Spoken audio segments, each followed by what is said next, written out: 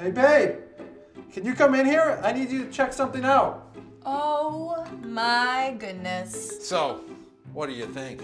Wow. There's a lot going on here.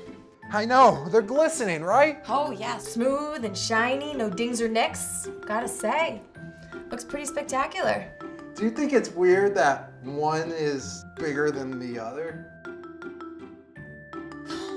Totally natural. I think they're perfect. Oh, phew. Want to keep your balls and trophy clean, smooth, and shiny without worrying about damaging your hardware?